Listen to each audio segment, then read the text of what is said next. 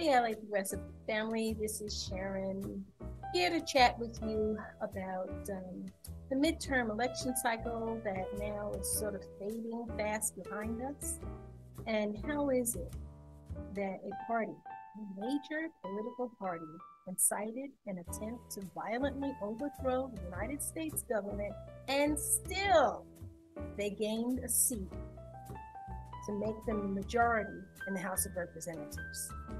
And in fact, uh, the Democratic Party uh, did gain the House and the Senate, one Senate seat for a precarious 51 to 49 majority.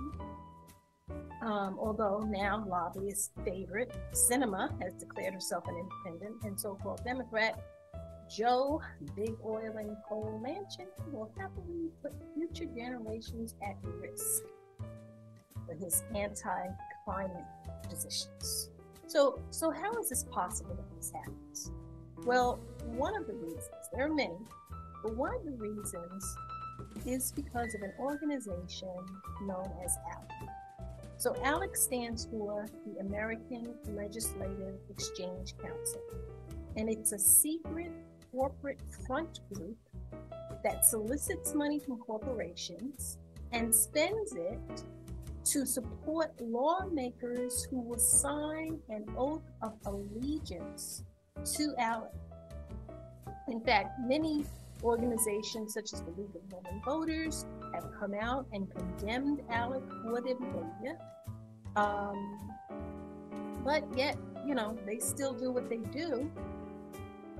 Number one reason they continue to do what they do is because they're so successful a woman who I have the utmost respect for, um, Lisa Graves, who is the founder and the executive director of Exposed by CMD Investing Power. CMD stands for the Center for Media and Democracy.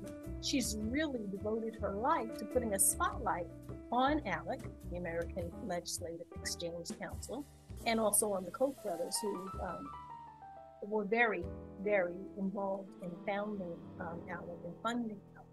So let's take a little look and see what is it that ALEC does. Hold on for a second. A bill, yes, I'm only a bill, and I'm sitting here on Capitol Hill. Well, it's a long, long journey.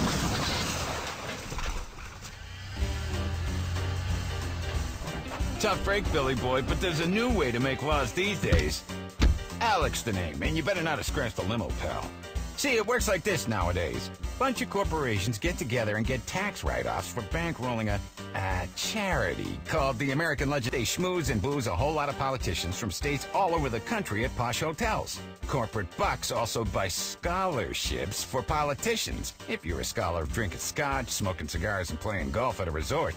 So now there's suddenly one big happy family. The corporations, the lobbyists, the politicians. They all get together far away from your citizens and voters, and the unelected lobbyists secretly vote with the politicians. to do?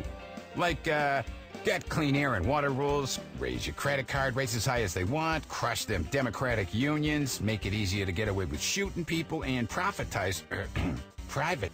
Hell, they'd privatize their own mothers. So once the politicians have been wined and dined, a little campaign contribution here, a good time there, the politicians, legislators, head back to their capitals or Congress and fast track as many of these bills as they can. And here I am, a model ALEC bill, soon to be law.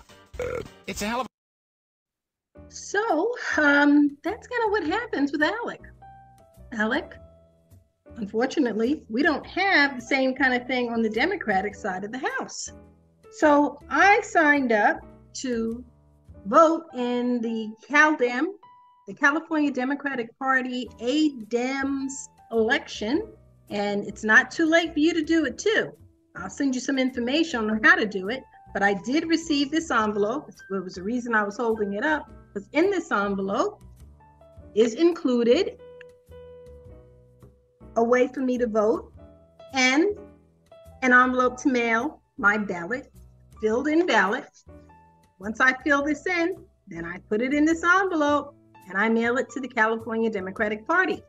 Problem is, this doesn't have any names of any of the candidates who are running for ADEM. In order to find out their names, I've got to go to the California Democratic Party website. Well, I do know at least one person that the LA Progressive is endorsing, and that is number four. Number four is a gentleman by the name of Wade Kyle, and he's running in the 66th Assembly District, which I'm sure somebody that's watching this is running in the 66th Assembly District. But to learn more, you can go to CalDem and find out more about these ADEM elections. Sadly, unless we get more involved, we can't shape the mechanisms of the Democratic Party. And that's our only choice. We are up against so much. Alec is so far ahead of us, and that's why you can have a party that supports the overthrow of the American government and still wins a majority in the House. Well, that's all for today, guys. I'll talk to you in a few days. Till next time, so long.